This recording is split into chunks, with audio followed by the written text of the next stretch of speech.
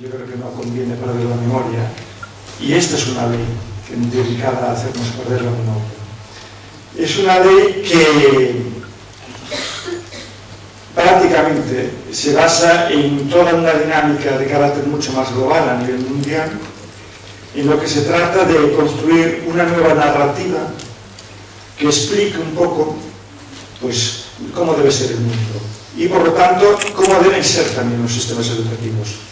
Una nueva narrativa que vaya conformando un sentido común donde se nos desfigure todo lo que venía siendo el sistema educativo tradicional las grandes metas que, movilizaron a los sindicatos, a las fuerzas políticas más progresistas para hacer que la educación sea obligatoria y sea obligatoria cada vez el mayor número de años posibles.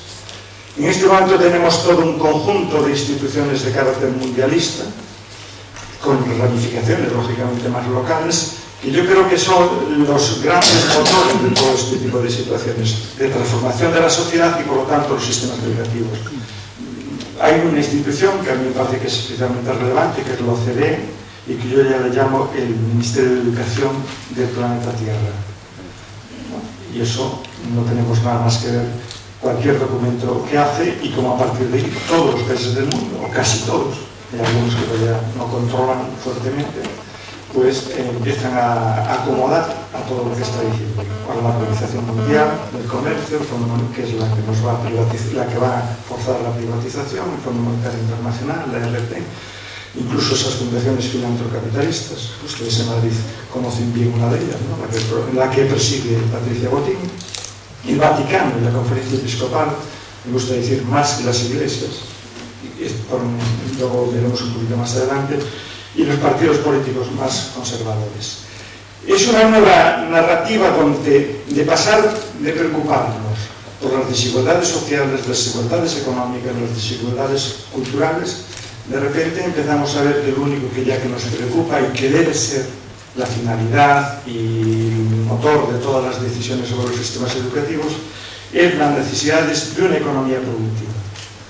Claro, a partir de ese momento ustedes van viendo en la propia ley el vocabulario, los conceptos motores que organizan esa ley y organizan nuestros significados y verán cómo cambian de lo que era la, preocupación y la obsesión, se puede decir, de las leyes que tenían una mayor preocupación por la justicia social, a preocuparse exclusivamente por otro tipo de, de finalidades del sistema educativo, como es la empleabilidad.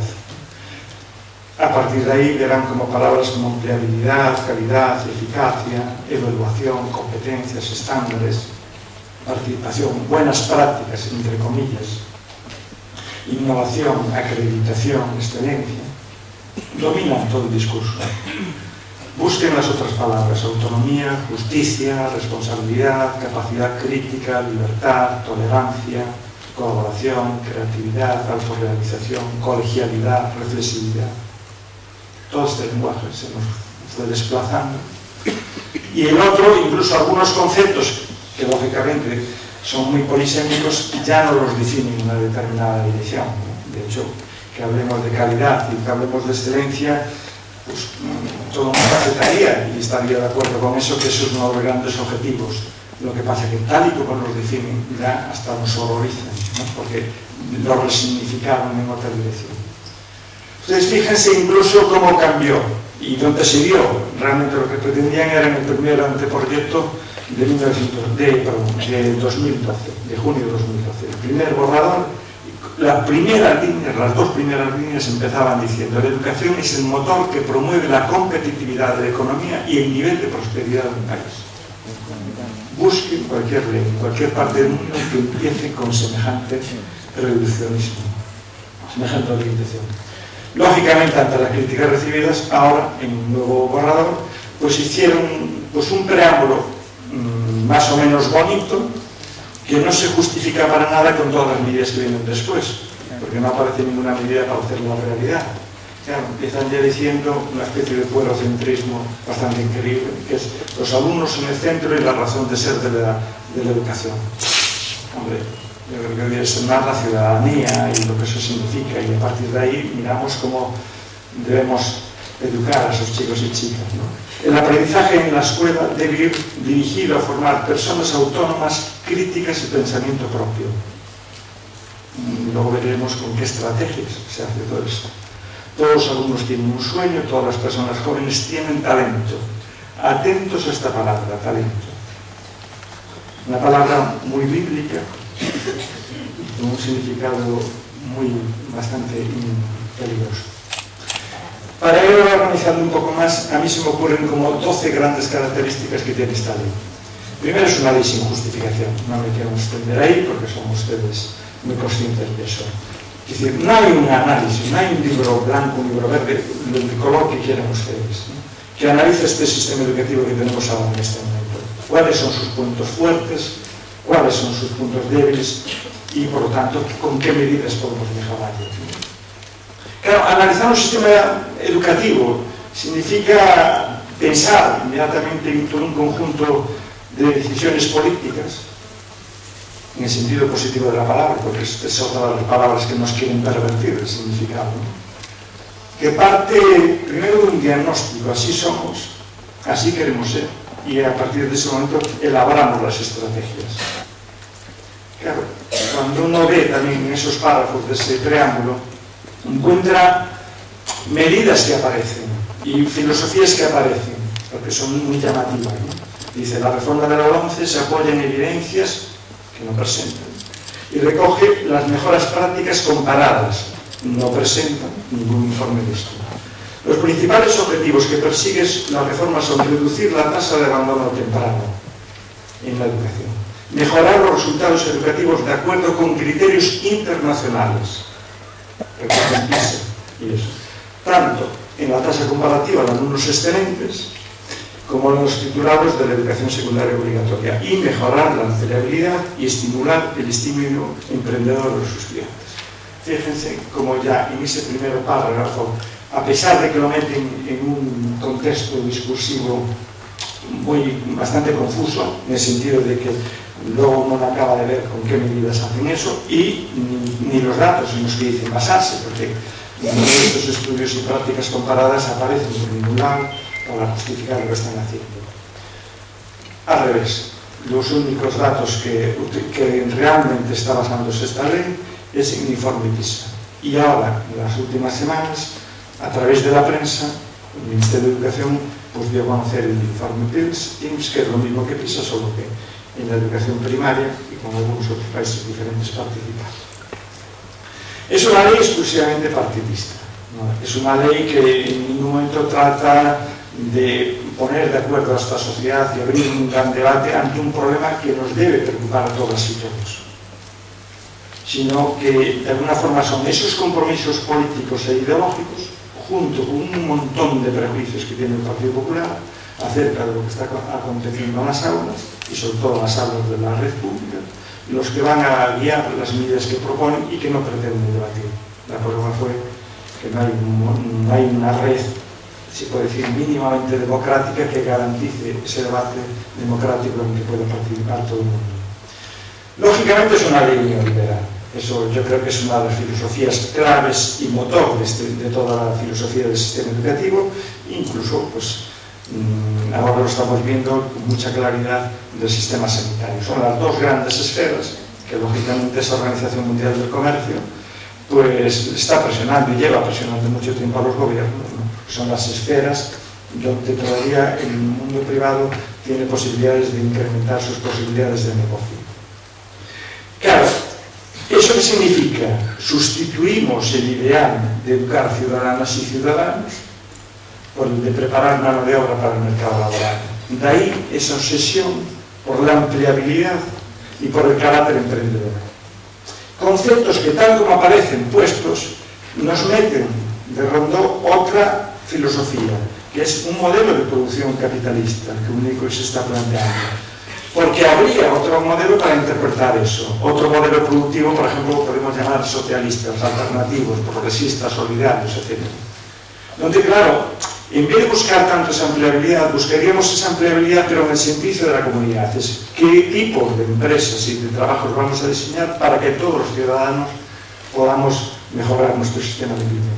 Y claro, y hay frente al emprendimiento de, del empresario capitalista está un emprendimiento socialista o más solidario, que decir, es formar personas que abren y montan empresas a nivel colectivo al servicio de toda la comunidad, para mejorar esa comunidad, no para enriquecerse quien tiene la suerte de idear determinado modelo productivo y acompañarlo del suficiente marketing para hacer, hacernos a todas las personas satisfechas si no compramos sus productos.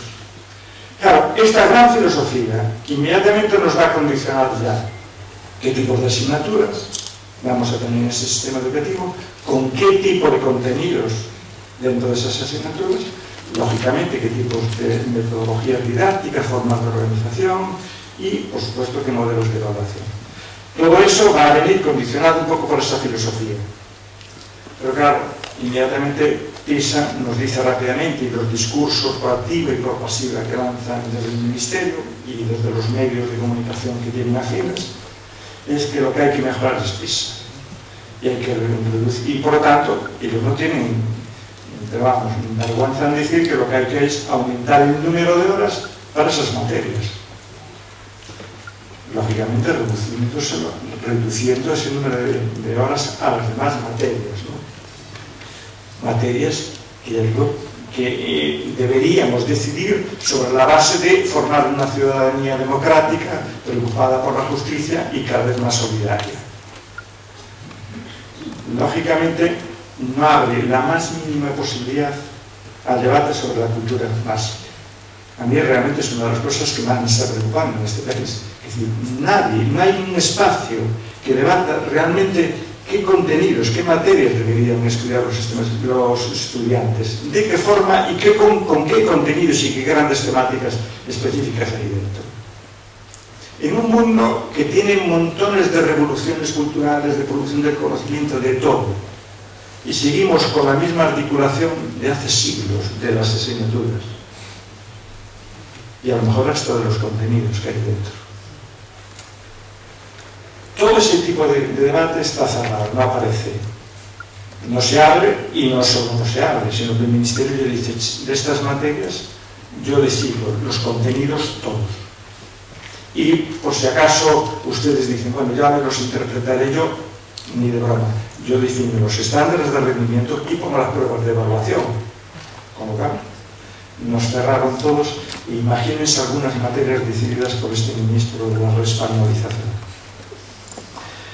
Por supuesto, no hay ninguna estrategia para la actualización de esos contenidos y mirar, pues una cosa que debería ser preocupante y que está debajo de cualquier análisis de fracaso escolar, es que los estudiantes hoy siguen preocupados y preguntándose, ¿esto para qué sirve? Están estudiando contenidos auténticamente irrelevantes, desactualizados, y presentados de una forma incluso muy abstracta, con lo cual hasta los que pueden ser más relevantes, más imprescindibles, resultan incomprensibles para esos estudiantes. Claro, y me interesa resaltar una cosa que es básico y que seguro que ya cayeron ustedes muchísimas veces en la cuenta. PISA solo mide tres cosas.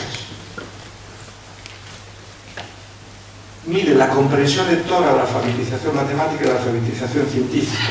¿Qué no mide? pues si tienen ganas, lean ese listado. ¿No decíamos que había que formar una persona integral en todas sus dimensiones?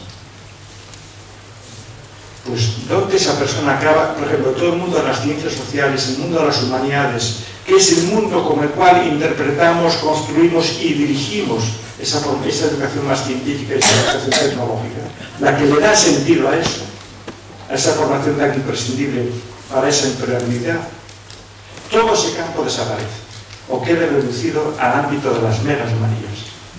Porque eso nadie lo evalúa.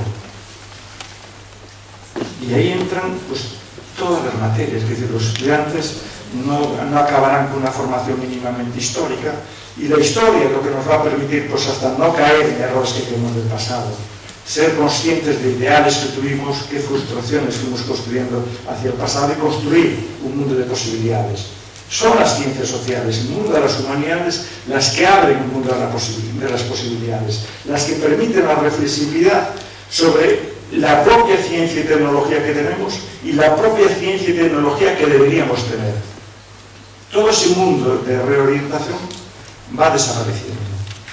Por supuesto, las otras formaciones más de la sensibilidad de las personas y todo, eso ya queda auténticamente en marinas. ¿no? En un país como este, que está en la historia de la humanidad, yo creo que fundamentalmente por sus aportaciones al mundo artístico.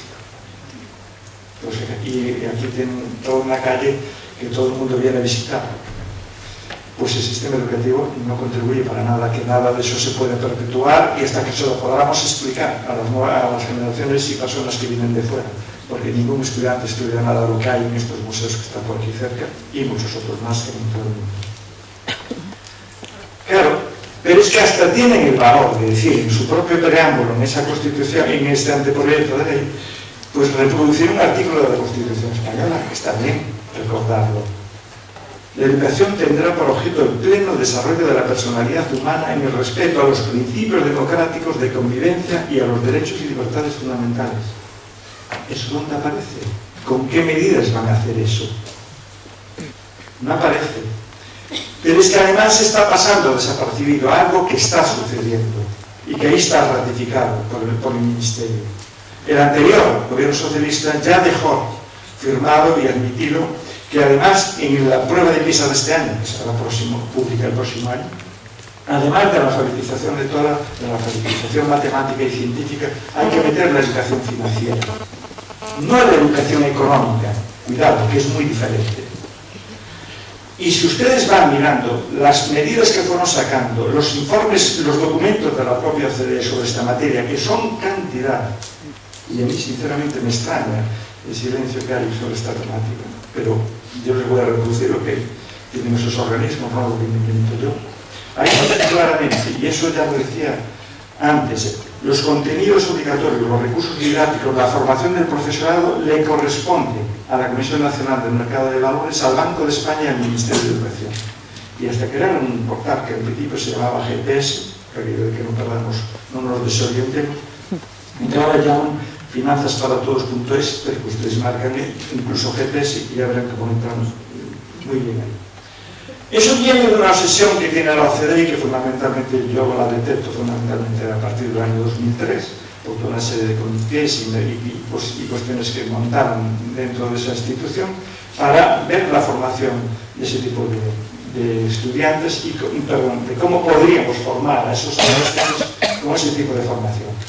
El G8 tiene declaraciones muy, muy contundentes sobre la necesidad de incorporar todo eso y la OCDE tiene una red enorme de, cosas de esas. El Banco de España y la Comisión Nacional del Mercado de Valores ya editaron en el 2008 un plan de educación financiera para, también inmediatamente. Pero, para que vean más claro, esa educación financiera no se va a aplicar en todos los países de la OCDE. Los primeros a los que se les va a aplicar son 18 países. Ahí tienen el listado. España, Australia, Bélgica, Brasil, China, Colombia, Croacia, Eslovaquia, Eslovenia, Estados Unidos, Estonia, Francia, Israel, Italia, Letonia, Nueva Zelanda, Polonia y la República Checa. Curiosamente, los que sacan mejores rendimientos no están. No están Suecia, Noruega, hasta la propia Alemania. Pero fíjense el argumentario y aquí ven claramente la filosofía de esta materia. Un documento de la OCDE de 2012 que les yo lo único que hice fue traducir a castellano. Y si no me falla mucho en inglés, dice, los argumentos para introducir e incorporar en el sistema educativo la educación financiera, dice, la creciente transferencia de riesgos a los hogares que son cada vez más responsables directos de las decisiones financieras esenciales para su bienestar en el futuro debido principalmente a tres grandes sucesos. Uno, las grandes transformaciones que sufrirán las pensiones de jubilación. Dos, una mayor responsabilidad individual en los asuntos relacionados con la salud y la enfermedad. Y por tanto, la necesidad de contratar seguros personales para garantizar la cobertura sanitaria. Tres, la importancia para las familias de planificar e invertir adecuadamente la educación de sus hijos e hijas. Es decir, es una educación para acostumbrar a la gente a que invierta, se endeude, pide préstamos y cosas por el estilo. Uno de los informes últimos que yo acabo de ver dice que todos los estudiantes norteamericanos, por ejemplo, que acaban una carrera universitaria, el 80% de ellos acaban todos con una deuda, con una hipoteca que tienen que pagar, bueno, un préstamo que tienen que pagar a los bancos. Y en este momento la misma crisis, la burbuja financiera que nosotros tuvimos la construcción, la están teniendo ellos con los estudiantes que acabaron sus carreras, empezaron a trabajar y que no, su mercado laboral no nos permite ganar aquellas cantidades de dinero que les permitirían eh, ir cubriendo y pagando sus aportaciones mensuales, etc.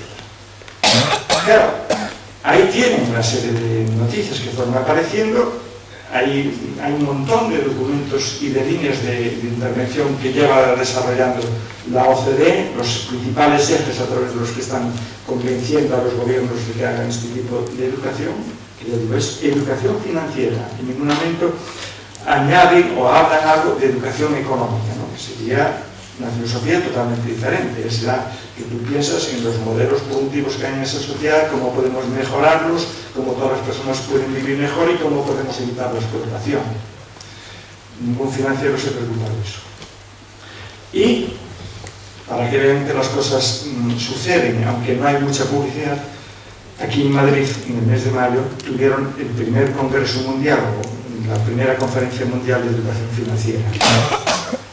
En la red todavía se puede bajar, creo, si no lo retiraron, todo el programa de los intervenientes. Verán a quién le preocupó eso y quién asistió hoy. Pues toda la gran banca, ni una sola representación de lo que podemos llamar la banca solidaria y de la alianza global esa que hay de la banca solidaria, donde está y otro tipo de bancas, sino solo eso, las agencias esas de rating y la Comisión Nacional del Mercado de Valores, gente de ese tipo, de todo el mundo. Digo porque da la sensación de que estas cosas no están ocurriendo y no aparece para nada ninguna referencia de esto a la 11, pero si el próximo año aparecen los resultados en el informe PISA, ya se pueden imaginar que en ese 50% o más que dicta el Ministerio incluirán algo relacionado con esto. Es decir, es una ley, además, destinada a mercantilizar clarísimamente el sistema educativo. Es decir, la, es reforzar todavía más, acelerar todavía más la política de promover la privatización de los centros escolares. Y eso se hace con dos medidas muy fáciles. Una medida, que es la que yo dije, las evaluaciones externas y otros son los rankings de los centros. Es obligatorio ya que las familias, antes de matricular a sus hijas o hijos en un centro, reciban la información de los rendimientos que está teniendo el alumnado en ese centro. Claro, lo que se trata es de construir y visibilizar la idea de que las instituciones públicas funcionan mal. Esa es la gran obsesión. Y no se les ocurre tomar medidas para intervenir sobre ello. No, no, visibilizar, acentuar eso, exagerar eso, para que la gente se reoriente a otro tipo de instituciones. Hay como 14 efectos que están súper estudiados, que hay cantidad de documentación, que nos hablan de peligroso, de la peligrosidad de ese tipo de evaluaciones con indicadores, de esas evaluaciones nacionales, todo eso. Hay cantidad de, de evaluaciones, incluso personalidades importantes que estuvieron a la cabeza de eso.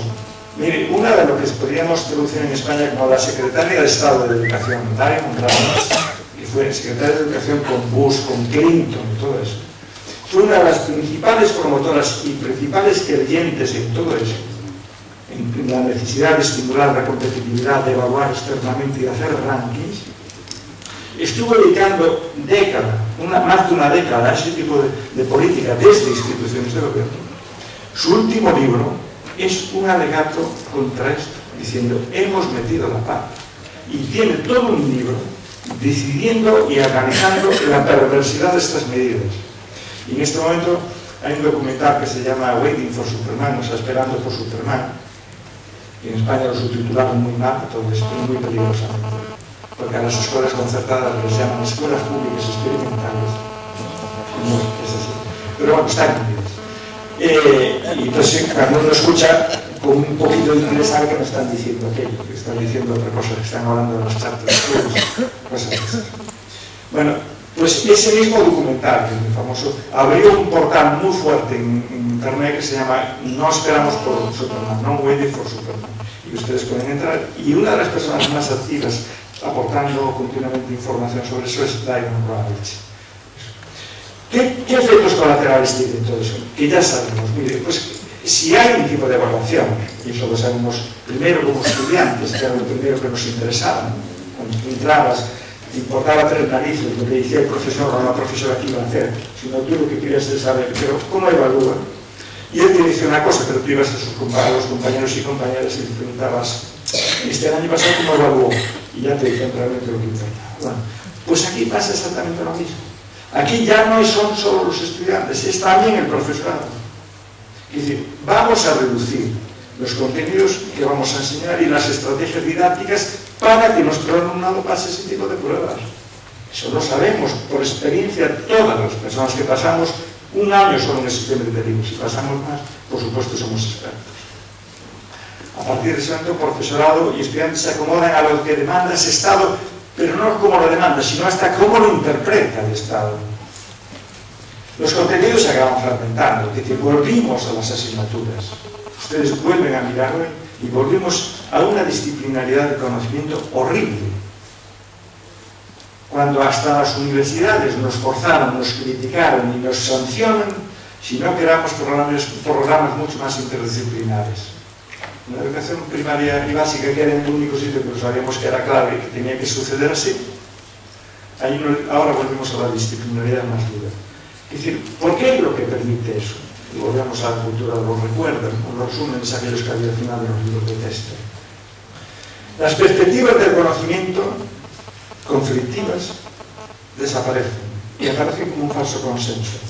Bueno, el ministro lo dijo, ¿eh? los temas conflictivos del currículum, cuando, ¿se acuerdan cuando hablaba de la educación para la ciudadanía? Los vamos a eliminar.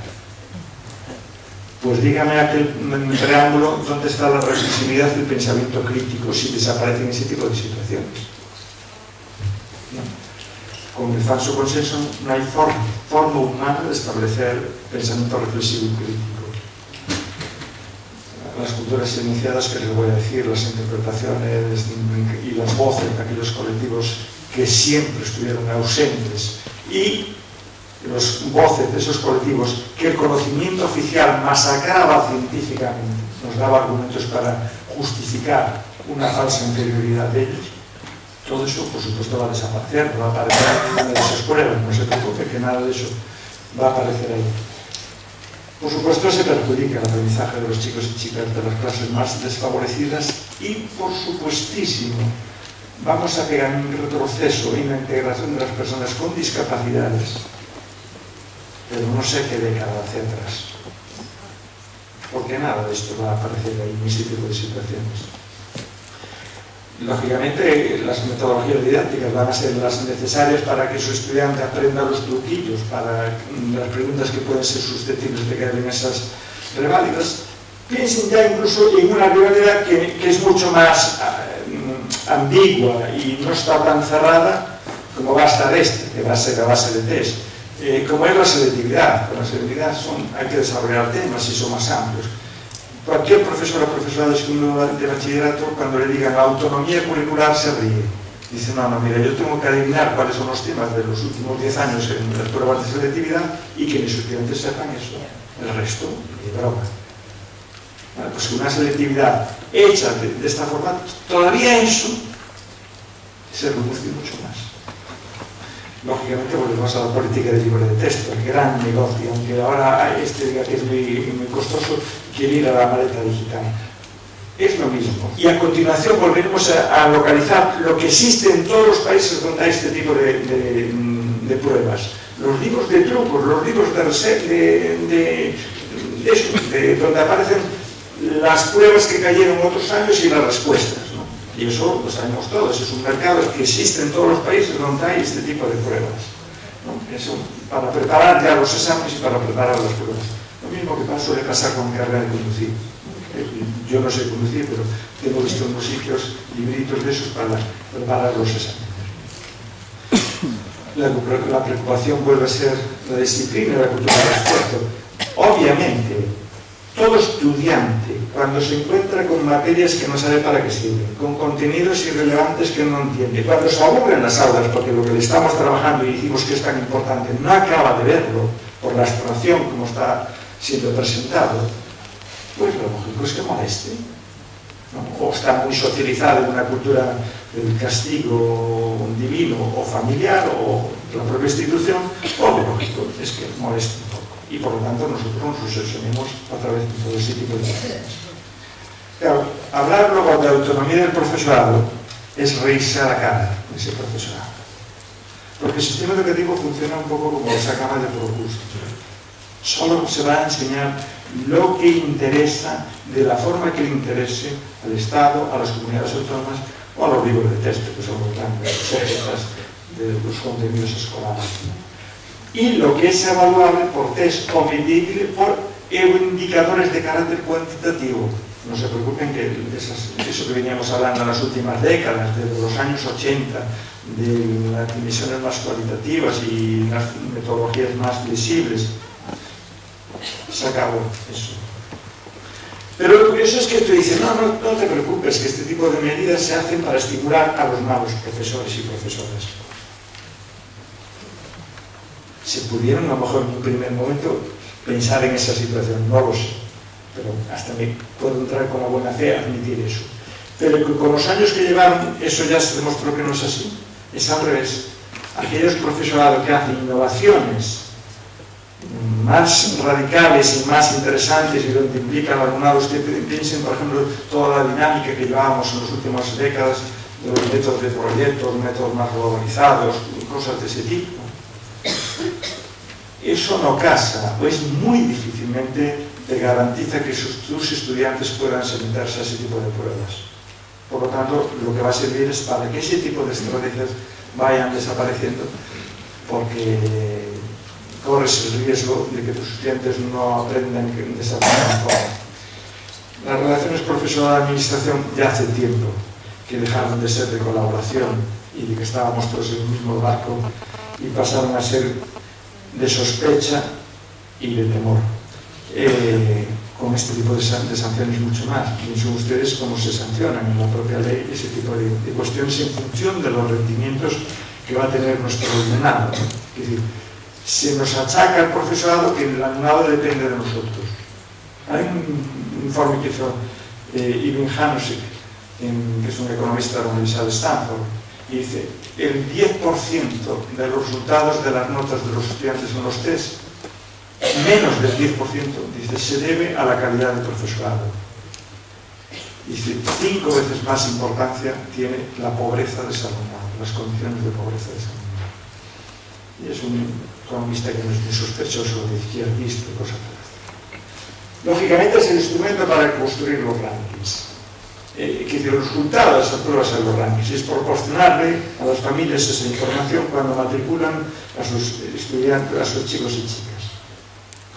Se incrementan los niveles de burocracia y miren por un momento que dicen de recorte, que están preocupados por la escasez de dinero, una medida de este tipo cuesta mucho dinero.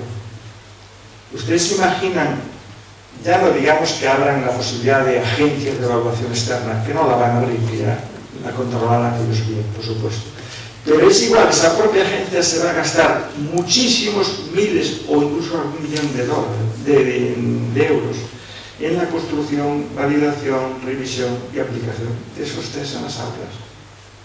Eso cuesta mucho dinero. Pero algún negocio hará algunos amigos. Y lo que decía es que encima todo esto vuelva a entronizar como filosofía de evaluación y de inicio del sistema educativo el positivismo, como la única epistemología válida en educación. Después de décadas y luego ustedes hablando de investigación-acción, investigación cualitativa, investigación hermenéutica, de todo tipo. Pues eso no casa con eso, es demasiado costoso. Se podría hacer así, pero eso sí que ya económicamente no les puedo imaginar lo que significa eso. Claro, reforzamos a idea dun estado panóptico, dun estado evaluador, ¿no? que nos está, primero, ya desconfiando de todas los, de todos los profesores y profesoras, de toda la propia comunidad, y nos tienen que decir todo lo que tenemos que hacer, cómo tenemos que hacer, considerando que somos auténticamente inútiles. Claro, y todos sabemos que en esos resultados escolares hay dimensiones que influyen y que son condicionantes. Es decir, influye y condiciona los resultados de nuestro alumnado el capital económico y cultural de las madres y padres. Y PISA hasta lo vive y nos dice clarísimamente, cuando analizas eso, vas viendo que esa dimensión, es decir, el que una familia tenga un capital cultural importante, sobre todo la madre, por aquello que en nuestras sociedades todavía siguen siendo muy machistas y por lo tanto es la que se preocupa más de la educación de los hijos e hijas, eso decide porcentaje importante de las notas de, de, de, de ese alumnado. Las características socioculturales de la comunidad vecinal en la que está todo esto, las experiencias y expectativas que hay en, en el entorno de, de ese tipo de estudiantes acerca del poder y el valor y la importancia de la educación. Y por supuesto los problemas familiares. Tenemos muchísimos estudiantes con problemas familiares. Las dotaciones del centro escolar, algo que ustedes viven y saben, que é lo que, está, lo que estamos hablando, la política de recortes aquí neste, nesta partida es brutalísima. Los proyectos curriculares del centro, eso ya casi se acaba, bueno, ahora nos decidirá el director o directora que imponga la administración, el tipo de evaluación, los instrumentos incluso de recogida de información, Pero el sentido ese, de que según evalúas, estás priorizando un determinado tipo de cultura escolar. Y de contenidos escolares. Entonces, esto lo tenemos que tener muy, en cuenta. Eh, solo tenemos que recordar nuestra época de estudiantes. Tú estudiabas aquello y de la forma que lo iban a evaluar y nada más. Y todo lo demás ya te ponía a decir que el disco y pues vale, vale. Para cuando tenga tiempo de que nunca. El número de horas que dedica ese profesorado a la coordinación, a la preparación de recursos y de la actualización. En una ley como nos acaban de aprobar hace poco tiempo, donde nos aumentan todo eso. Estamos ante una ley que yo llamo cínica. Porque, claro, no puedes aludir a que el sistema educativo no está formando la, la gente cualificada y que estamos sacando personas sin una suficiente formación. Cuando la realidad es que tenemos un mercado empresarial que es auténticamente ineficiente, que no está capacitado para explotar la riqueza, hablando su propio lenguaje, la riqueza que generamos, que construyó este propio sistema educativo. ¿Ustedes conocen alguna estadística que diga qué empresas se tuvieron que cerrar o no se pudieron abrir porque no había personal suficiente cualificado en país? En un país cuyos profesionales se los están reclamando los países más poderosos del mundo, Pero es que los datos son tozudos. Estamos a la cabeza de Europa en jóvenes con sobrecualificación.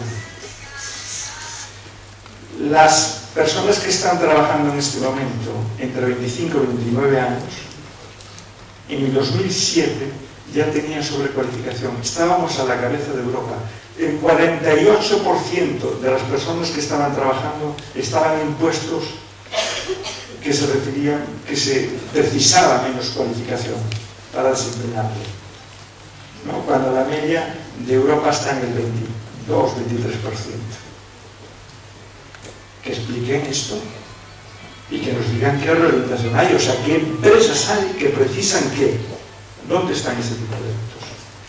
Claro, lógicamente, como ley conservadora es una ley muy clasista, si rebajamos la comprensibilidad hasta los 13 años, 13 años ya empieza la posibilidad de encaminarse para los 14 y ya es obligatorio, claro, primero ya retrocedemos 42, 43 años, ¿no? a la ley general de 1970, que era la hacía esto. Y olvidamos el significado de lo, de lo que aquellos de cuál era el porqué, las razones por qué los países fueron construyendo esta, esta necesidad, esta comprensividad. Y era obvio, y es lo que va a pasar. Porque ya teníamos demasiados datos empíricos que nos decían, cuando los estudiantes eligen letras, ciencias y formación profesional antes de tiempo, pues asoma como una especie de gen encubierto que el genoma humano no descubrieron. Y era que las clases sociales más desfavorecidas, mira por o si iban para afuera, iban a formación profesional, las clases medias bajas iban para letras y las clases altas iban para ciencias. Eso sí, cada uno diciendo su talento. Es que yo, a mí no se me dan las matemáticas. A mí no, pero sí, a, todos se les daban las letras a esas clases medias. Hombre, había luego un par de ellos, que era lo que los sociólogos llamaban, tipo Gabriel Paserón, llamaban los rehenes de la burguesía. ¿no? Dicen, no, no, cuidado que hay un obrero en la universidad. Uh, eso todo se nos olvidó. Esas eran las razones de la comprensibilidad, no eran otras. Que luego incluso se incrementaron en una sociedad donde el futuro es demasiado incierto. ¿Quién se imagina a qué se van a dedicar los chicos y chicas que están hoy estudiando en primaria o secundaria? ¿Qué mercado laboral va a haber? ¿Qué necesidades va a haber? Pues la única forma de garantizar eso es una formación mucho más polivalente y que todas las personas tuvieran una buena dotación, una buena base científica, humanística y tecnológica. Es lo que te va a permitir adecuarte y, y convertirte en una persona flexible en ese sentido. Claro, el clasismo ya sabemos lo que va a ser. Es quienes van a esta ramas ya lo sabemos.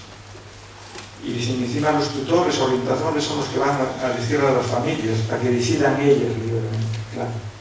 Y ya sabemos que familias van a aceptar tu decisión, quienes te van a decir que no, en el caso de que se te ocurriera decirles que no continúen en determinada línea que esa sociedad valora.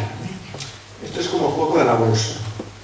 En, los títulos de la bolsa hay unos que tienen mucha información y otros que tienen muy poca información. Y los que tienen información saben bien qué cosas son las que merece la pena invertir. Pero es que esa ley clasismo, esa derivación y expulse del sistema educativo de aquellos estudiantes que tienen más problemas y que, entre paréntesis, son los más pobres, los más desfavorecidos, se refuerza además con esa línea que abre hora nova de especializar curricularmente a un centro. Las líneas de, de, de especialización curricular son las líneas de los centros para seleccionar qué tipo de estudiantes les interesa y con los que van, quedar, van a quedar muy bien en los rankings y por lo tanto podrán eh, seleccionar mejores familias todavía y cobrarles adecuadamente eh, a través de las vías tan indirectas que hay incluso en la enseñanza concertada. Centros bilingües, ya sabemos lo que significaba, centros de excelencia, eh, determinadas especializaciones, etc. Y claro, si ahora nos sale un informe como el PIRIS, que nos dice que los estudiantes están teniendo problemas con la lectura, con las matemáticas y con las ciencias en primaria, pues mira, el genoma no tiene la culpa, ¿no? Que yo sepa. Pues habrá que mirar y revisar medidas de intervención mucho más tempranas. Claro, la educación infantil, que fue una de las grandes conquistas que tuvo este país en las que nos colocamos en la vanguardia, lleva mucho tiempo deteriorándose. La educación 03 hace mucho tiempo que ya está en muchísimos centros e instituciones abiertas recuperando la idea de la guardería y olvidando la, la propia dimensión educativa. Pero es que eso dijo Ver, dijo que la etapa 03 era asistencial. A ella les importa tres narices. Eso donde las familias más acomodadas están todavía estimulando a la mujer ya cuando está embarazada porque el instinto de lo fe no parece no. O sea, el feto recibe estímulos y por lo tanto imagines. O sea, cómo la información que tienen unos les permite hacer unas cosas y la desinformación que, les, tienen otros, pues también eso, tenemos unas clases sociales muy desfavorecidas que piensan que los niños y niñas no deben trabajar en la educación 06, porque ahora tienen el concepto de trabajo alienado un trabajo como, ser realiza, como realizador y potenciador de esa persona. Y claro, nos aparece como medida que redistribuye esto, el esfuerzo, pero sobre todo el talento. Les encanta la palabra talento. No, dicen, no, no, tenemos que función de los talentos. Claro, los talentos son potencialidades que construimos en un determinado entorno. Es el resultado de, ya digo, en el genoma humano no apareció ninguna posibilidad de ese talento. Pues cuidado con esa perversidad, porque es lo que lleva tiempo.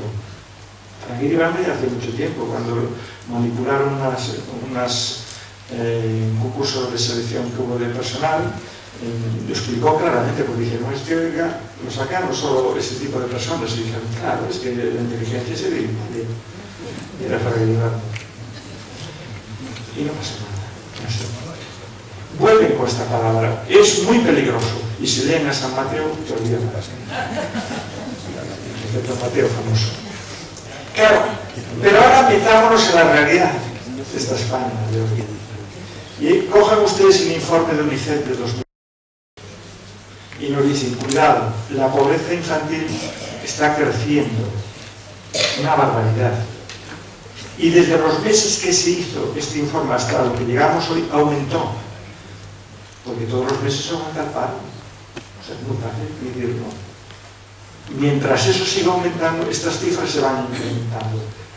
Tenemos dos millones, más de dos millones de niños y niñas que viven en hogares por debajo del umbral de la pobreza. La pobreza de los estudiantes menores de 18 años es el 24% de la población está en esa categoría.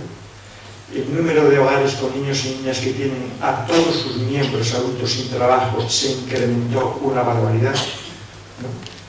Y se sigue incrementando mes a mes, porque las cifras de paro siguen creciendo. Y encima decía el informe que cada niño, cada niña que nace actualmente en España tiene una deuda pública de 15.570 euros. Revisen los datos de todas las instituciones públicas de la red, que depende del gobierno, y que de alguna forma tiene repercusiones sobre eh, esa infancia. Las políticas de sanidad, las políticas sociales y las políticas de educación. Los recortes son brutales. Ante una infancia que necesitaría incrementar todavía los recursos que le destinábamos, encima se los recortamos. Tienen ahí todos los datos, y eso lo saben ustedes bien, en todas las partidas que hay ahí. Pero es que encima hay toda una serie de medidas que caracterizan y que explican mucho lo que pasa en nuestro sistema educativo. Tenemos muchos estudiantes extranjeros en el sistema educativo, que está bien porque es una sociedad que vivimos que es global y que hay movilidad, aunque ahora los intentamos, los intentan echar para afuera. Pero cuidado, ese extranjero, que es la palabra que utiliza el Ministerio, incluye procedencias muy diversas. Europa, América del Sur, África, etc. Y se distribuyen muy regularmente. Algunos van muy pocos a la enseñanza privada, pero claro, es que yo cuando salió esta primera estadística me quedaba asombrado porque había como muchos en la red privada que había que pagar, diciendo, uy, ¿cómo va a haber extranjeros ahí? Claro, hasta que me di cuenta que los alemanes, los ingleses y los locos son extranjeros. Ya tenía distorsionado el concepto y estaba mirando otro tipo de niños y niñas que los vía solo en la pública. Hombre, alguna concertada de la iglesia, que están muy bien organizados y entonces siempre hay un sector de la iglesia que escoge y se preocupa de este tipo de gente, pero son solo uno en cada ciudad más o menos. El resto se han en otro tipo de situaciones. Y hasta recuerdan que hace unos años el defensor del pueblo le tiraba de las orejas al gobierno diciendo que era escandaloso la concentración que estaba diciendo de estudiantes en las redes públicas y concertadas. Y la distribución pues, por comunidades es clave. Es decir, porque la media española es una media muy diferente según se mira en cada comunidad. Los ricos compensan, o sea, los pobres compensan a los ricos y hace que los ricos no aparezcan tan ricos. ¿no? Porque lo distribuyen, cosas por estilo pero uno va mirando y las comunidades móviles, pues lógicamente este alumnado lo elimina más rápidamente y lo concentra en esas redes privadas. Claro, pero es que además en la población gitana que tenemos datos que son preocupantes y que están ahí. Es que no se nombra la palabra población gitana, cuando en una ley como esta es un colectivo suficientemente importante como para que tuviera que aparecer y hubiera medidas para algo de eso. No hay nada de eso y los datos estadísticos son muy fuertes. El 80% de la población gitana abandona antes de finalizar la ESO. Claro, y esto además se cierra, además de todo ese tipo de recortes, con las relaciones. Que ya digo, es volver a modelos de hace 40 años. Claro, es una ley muy conservadora. Además, porque aquello que decía de formar personas responsables, cívicas, etc., desaparece. Es que desapareció la educación de la ciudadanía y los derechos humanos. Y me importa poco hasta que fuera como asignatura, sino todas las materias y núcleos que podían trabajar esto. Eso sí, si leo un poco más detenidamente el último borrador, ven que desapareció aquella materia que se llamaba educación cívica y constitucional, que era la que pretendían sustituir la educación para la ciudadanía, sin los temas conflictivos, decía, y ahora la colocan como transversal, después de los éxitos de la educación transversal en este país. Entonces dice, pero esto es un contenido transversal para todas las materias.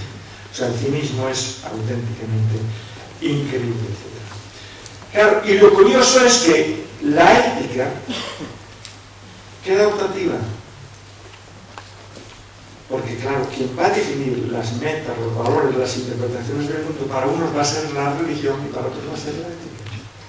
Claro, pero cuidado, que no es cualquier religión, es la religión católica, tal como la interpreta y abandera el Vaticano y la Conferencia Episcopal. Es decir, es la religión que consolida o instala aquellos estudiantes que empiezan a acusar valores como la obediencia, entre paréntesis, sumisión, el sacrificio, o sea, el trabajo alienado, la caridad frente a la justicia, el esfuerzo ante la explotación, la paciencia ante las injusticias y el sufrimiento frente a la sinrazón y los, y los abusos. Y aquello de la educación reflexiva y crítica, ¿con qué se consigue? Con esta religión. Porque es esta religión, porque hasta podría haber otro tipo de religión. También yo decía, imagínense que este país estuviera, fuera dominado por la teología de la liberación. Ni de broma, no la deciría como obligatorio. Lo digo porque para hacer ver que muchas veces no es tanto la asignatura cuanto lo que esa asignatura conlleva por detrás. Porque una teología de la liberación pondría mucho énfasis en la justicia social, en el compromiso con los pueblos y las personas más oprimidas y desfavorecidas, en la cooperación y cosas por el estilo. El Vaticano, el Evangelio de Episcopal no hacen eso, ¿no? Cosas por el estilo. Es una ley bueno, ¿qué les voy a decir? Si ya lo frente a las sentencias y la argumentación que debería tomar en consideración esta ley. si tenemos la constitución que tenemos y no la van a variar, lo lógico es que aceptasen la interpretación de un tribunal constitucional. Pues, para nada, no les importa. Y ya lo aseguran por ley, lo especifican bien claramente. Y recurren, por aquello del progresismo, a un documento da UNESCO de 1970, Claro, 1960. Ustedes saben la cantidad de convenciones de derechos humanos y de matizaciones que se hicieron a los derechos humanos desde 1960. Es un número increíble, increíble.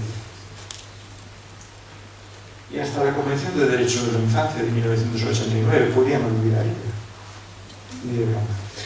Esto es una concesión exclusivamente a dos órdenes religiosas auténticamente fundamentalistas y clasistas. El Opus Dei los legionarios de Cristo, no hay nadie más que le pregunte esto. Esta es la negociación con, con la Iglesia, no con esta conferencia episcopal, porque hay otros cristianos y otras religiones que no concuerdan con este tipo de situaciones. Hasta ni eso. Por eso digo que lo importante muchas veces no es solo también la asignatura, que lo es, sea, yo estoy convencidísimo y decir, un Estado laico lo tengo clarísimo y una educación súper laica, pero es que además es eso, es que encima por ahí nos quieren meter otra cosa que no tiene que ver con eso, y mucho más. Ahora es una educación recentralizadora, no me voy a meter en todo el tema del lenguaje y del idioma, que eso es gravísimo, lo que eso significa, pero en el sentido de que para las materias troncales que deben ocupar más del 50% del horario escolar, y cuando tú dices más, ya se encargan algunos de que dure bastante más, sobre todo si esos van a ser los contenidos que me van a evaluar, lógicamente pues que más horas para que yo quede bien en PISA y que mi colegio quede fenomenal y, pueda pues seguir seleccionando estudiantes que me, que me dejen mejor. Claro, el Estado selecciona para esos materiales los contenidos y las evaluaciones finales, o sea, todo, la interpretación de todo.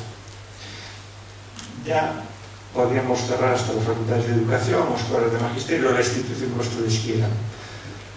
Porque si ustedes saben leer y escribir, con tal de leer y escribir, ver lo que nos dicen que tenemos que hacer, ya está, no necesitamos estudiar ni hacer nada. Y encima para las autonomías, que les dejan ciertas cositas así tal, cuidado que también les van a controlar la evaluación. Es decir, es una política auténticamente de sospecha del profesorado. Porque la reválida y las evaluaciones externas asumen una sospecha. Es que están pensando que nuestras evaluaciones, y evaluaciones que además están hechas por los claustros de los centros también, somos todos una panda de mangantes o de generosísimos, etc. Cuando al revés, las estadísticas que nos están diciendo es que en la pública parece que somos demasiado exigentes incluso, porque ese mismo estudiante en otras redes privadas pues es evaluado mucho más generosamente. Pues nada, es una, es una política de auténtica sospecha. Entonces nos evalúan a nuestro alumnado los indicadores de rendimiento, todo ese tipo de cuestiones. Y además van a agarrar y poner a su servicio exclusivamente a la dirección de centros. ¿Quién elige? Porque más del 50% de quién compone ese comité de, de votación lo tiene la administración. Encima es una falsa democracia. Dice, no, no, va a, representar, a ver, representantes del claustro de profesores y de las familias. Digo, oiga, mire, eso se llama marcar las cartas de una baraja. Si usted se reserva más del 50%. Y puede ser reelegible pues, a perpetuidad. Y no tiene que ser del centro. Claro, eso es dejar algo en las manos de unas personas que en principio pueden ser muy nobles y muy sensatas, muy racionales, pero también hay personas que son, no, son sensatas, ni racionales, ni nobles, por el estilo. Y por lo tanto deberíamos tener instrumentos que previniesen que las personas no son seres angélicos. Es una ley anti-educación, porque la educación siempre se preocupaba, entre otras cosas, de mirar los recursos, cómo se utilizan, las condiciones, todo lo que hay se estudia. En la primera ley decían clarísimamente, lo que importan son los autos, no las inversiones, el contexto los recursos, las dotaciones, nada de eso. Claro, en esta ley dicen, no, no, ahora las evaluaciones vamos a meterle un cociente eh, contextual yo no sé qué es, cómo se va a medir y lo que eso significa. Y por supuesto vamos a los modelos de lápiz y papel, etc. Es una ley autoritaria, como dije antes, no hay posibilidad de participar en ese debate. Ninguna asociación profesional, sindicato, partido político que no sea de derecho o de su eje puede participar. Y los otros deben estar participando a tenor de lo que vamos viendo, o algunas medidas que van saliendo, etc.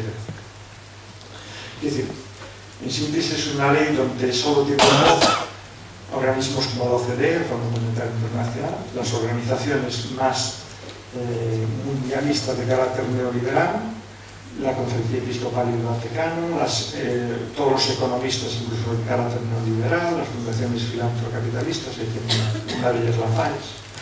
Aquí los grupos de presión más conservadores y neoliberales y luego se les llama G7, G9, G20, porque el número va a. Lo que sí tenemos claro es que no tiene voz el profesorado, el alumnado, ni las familias, ni los sindicatos, ni las ANG, ni la frecuencia. No hay organismos, voces de ese tipo. Y finalmente es una ley que podemos decir que está hecha para justificar esta política de recortes del PP. Porque no modifica, sino que está de encuadre todavía vigente el Real Decreto de 20 de abril de medidas urgentes de racionalización, qué palabra más bonita, del gasto público en el ámbito educativo. radios alumnado incrementadas, jornadas lectivas de dedicación de profesorado máis dedicadas a impartir lo que es clase y menos a, a las coordinaciones, actualizaciones y cosas por el estilo, políticas de sustitución de profesorado recortadas, la formación da financiación de becas, ayudas al estudio, ayudas a comer, todo eso recortado, etcétera. Eso, ese es el cuadro que está teniendo esta ley que no se modifica. En ningún momento. Y que no hay medidas, ni, un, ni un, una ley de acompañamiento que tendría que existir como esta es una ley de financiación, que, que, ¿cómo va a hacer posible eso? Al revés, la que tenemos es una ley de recortes, que ahora se llama racionalización. Claro, se nos olvidaron cuáles eran las finalidades del sistema educativo, que era hacer realidad la igualdad de oportunidades, formar unha ciudadanía solidaria e democrática mediante unha educación que tenía que ser antirracista, antisexista, anticlasista, no homofóbica, inclusiva, laica, integral, etc. Eso é es o que te iba a permitir encardinarte e convertirte en un ciudadano máis solidario e máis crítico nesa sociedade, esa palabra que tamén utiliza en el preámbulo. Claro, e olvidamos algunos datos e só dos datos rápidos que vai un estudio clave e que realmente nos se acompaña de un estudio que nos diga por qué está habiendo abandono escolar. Abandono escolar. Y hay muchas posibles razones. La inadecuación de esas finalidades del sistema educativo, la irrelevancia de contenidos y tareas escolares. Hasta hace poco el fácil atractivo que había en el mercado laboral, que ahora ya no existe. Las dificultades de aprendizaje y los inadecuados apoyos escolares el escaso capital cultural y familiar de determinadas familias, la poca motivación que esos chicos y chicas recibían desde sus familias y desde sus entornos, en la medida que eran entornos desfavorecidos, la inadecuación del clima escolar, dificultades para ingresar incluso en el sistema educativo una vez que lo etc. Y yo creo que a través de los debates y los análisis que iban saliendo que en los últimos años se iban produciendo, teníamos como grandes retos incluso no, obligaban para nada a, poner patas arriba ese sistema educativo como otra ley. Porque todos decíamos, hombre, sabemos la, el fracaso de la repetición de curso, que había que eliminar eso y, hacer otro tipo de estrategias para eso. En esta ley se permite que la escolaridad obligatoria se pueda repetir tres veces, una en primaria y dos en secundaria. Tres veces. mantener, que había que mantener ese tronco común hasta los 16 años, y sabíamos que había problemas, y sabíamos también que la clave estaba en esa formación de profesorado. Y por eso se forzó ese máster de formación de profesorado, que no es todo lo que debiera ser, ni mucho menos. Pero sabíamos que había una gran clave, Franza clave. Y clave porque está en otros países, que decir, no es que nosotros inventemos la pólvora, es que ya está inventada había que ofrecer una gran variedad de materias optativas, porque las matemáticas se pueden aprender de 80.000 formas y a través de 80.000 estructuras disciplinares o de organización de contenidos diferentes. Y ahí estaba la clave. Claro, si tú reduces todo eso, el fracaso te va a asomar más fácilmente prestar atención aos proyectos curriculares de centro, garantizar el laicismo, impedir la, se la selección, segregación y los agrupamientos de estudiantes por sexo, etnia, clase social y capacidades, que es la gran realidad en este país. Reducir el número de docentes que imparten materias para las que no están capacitados, eso también lo sabemos financiar aos centros en función das necesidades del alumnado e de sus familias, non a todos iguales. No. Coge usted este criterio e meta aí máis donde más se necesita. Ratios en función das necesidades. Dice, a mí el problema da ratio me parece falso como está planteado. 40 estudiantes de un colegio de Opus hasta me parecen pocos, si son iguales. De los 15 estudiantes en un centro súper desfavorecido en el barrio tal son muchísimos, porque cada uno es diferente. Ese es el la ratio, no el otro. ¿Qué diferencia hay? Si son todos iguales. Tú explicas la cosa todos de la misma forma y te lo van a entender todos y con el mismo recurso y parten todos de la misma y tienen el mismo estímulo y entorno, cultural fuera. Puedes aumentar la gana, pero más o otro. Eso no hay nada que contemple nada de eso. Ratios en función de las necesidades de cada centro. Incrementar los recursos y las dotaciones de los centros. Este país se gastó demasiado en libros de texto, abrió un negocio ahí brutal y confundió lo que son recursos didácticos, informativos y de calidad, y laboratorios y redes, etc., con el negocio de los libros de texto. Ya está, va siendo que pongamos un poco de coto a eso, si realmente nos preocupa la educación en una sociedad que llamamos informacional, que tiene tantos recursos informativos, y el sitio más pobre informativamente es el aula, muchísimas veces, muchas excepciones, ¿no? cosas de esas. Y los gobiernos tienen pánico a meterle manos en negocios, son muy poderosos, ya lo sé. Sé bien lo que significa Santillana o, grupos de ese tipo incrementar los recursos y dotaciones, atraer algo que hasta la propia CD dice algunas cosas muy interesantes en algún momento, y este, por ejemplo, es un eslogan que ellos tienen, dice, atraer, apoyar y retener al profesorado más competente en los centros con mayores dificultades. La política está al revés, eso se va a otro.